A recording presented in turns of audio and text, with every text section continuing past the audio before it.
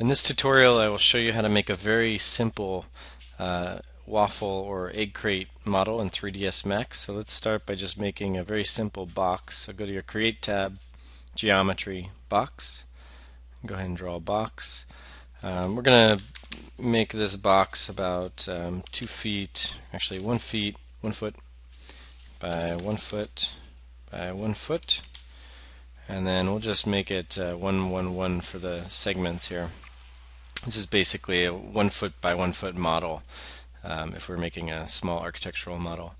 Um, then I'm going to go to my Create tab and the Shapes uh, icon and then under splines you'll find the section tool. And this will essentially cut a section of any geometry in your scene. So this could you could imagine this being a much more complex model. For the sake of this tutorial I'm using a very simple one but the the general process would be the same. So go to section then just draw a section and it will cut anything that's visible in your scene so it doesn't have to be actually intersecting your object.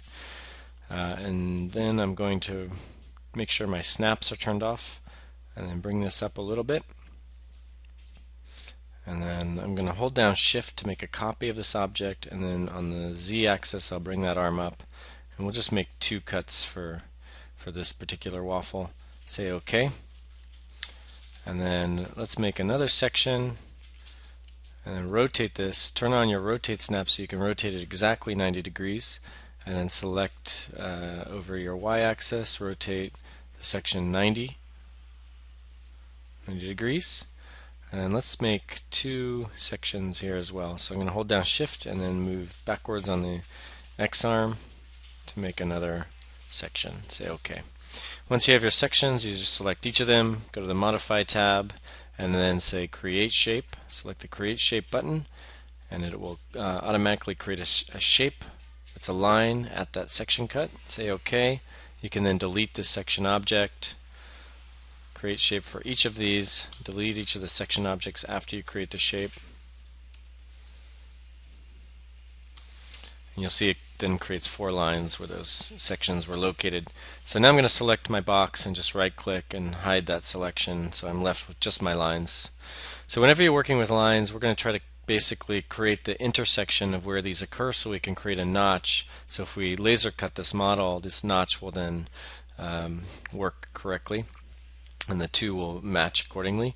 So the first thing you have to do is attach all of these edit splines together.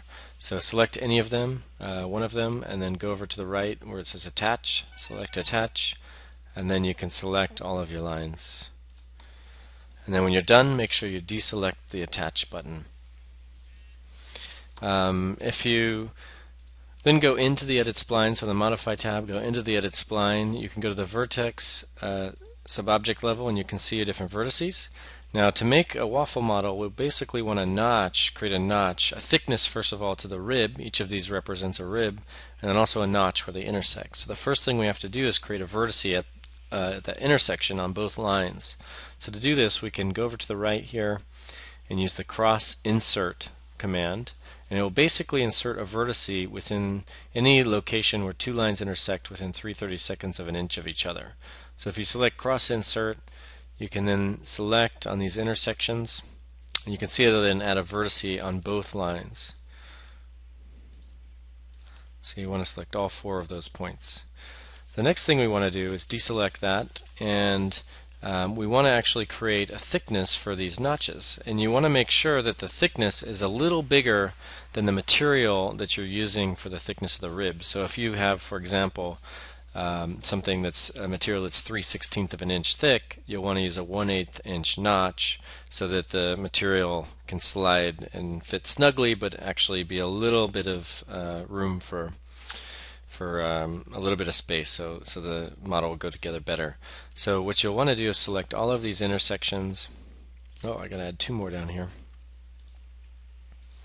So select all of your vertices at the intersections. You don't need to select the endpoint vertices.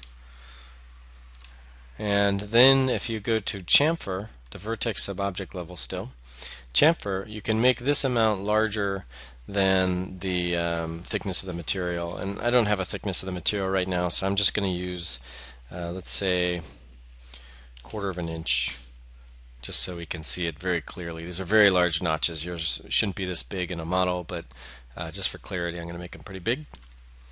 Okay, and then once you've done that, you can then see that you'll have uh, little markers to create your notches.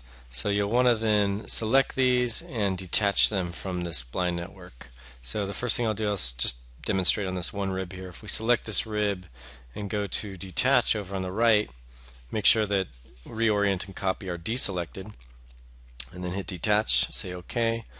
And now I'm just going to hide the rest of this. So I just want to rotate this so it's flat on the grid. So I'm going to go to the rotate, make sure my rotate snap is still on, and I'm going to rotate it 90 degrees so that it's horizontal to the plane of the grid. And let's go to the top view. I just pushed T, but uh, make sure you're on the top view.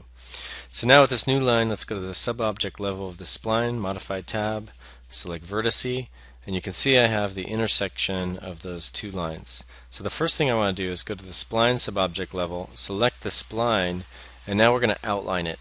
And we're going to outline it a little more than the middle point of the thickness of the rib. So if I want this rib to be, let's say, one inch deep, I want to go um, a little over half inch. And so you, and the reason for this is that the two notches, you want to have a little space between where the, the, the sort of knuckles of them intersect so that they have a little bit of forgiveness there.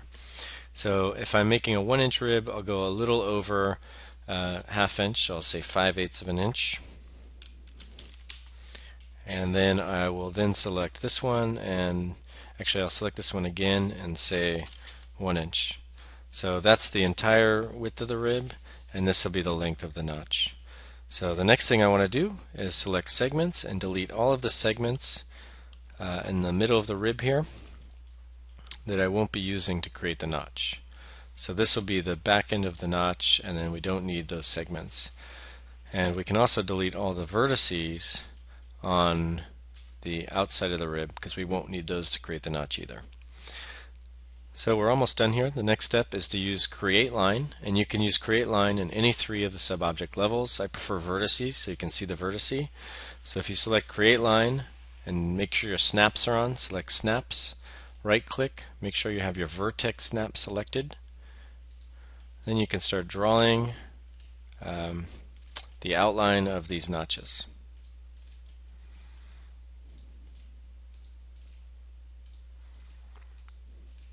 and then when you're done just simply deselect create line go to segment and then we'll delete the outside of the notches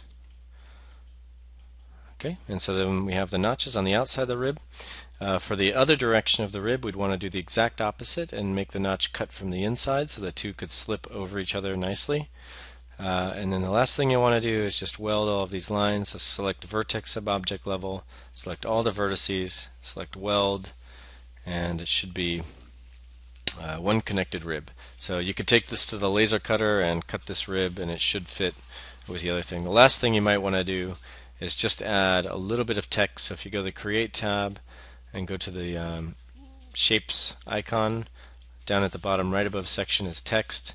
And if you want, you could laser cut. This is very large, but you could laser cut a sort of um,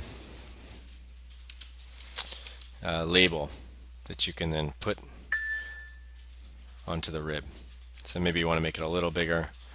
Let's make it a half inch and you can locate this so they're all in the same sort of location. So that's how you make a basic ribbon Max and if you do this in both directions you'll create a waffle model that can then be uh, put together uh, with some glue.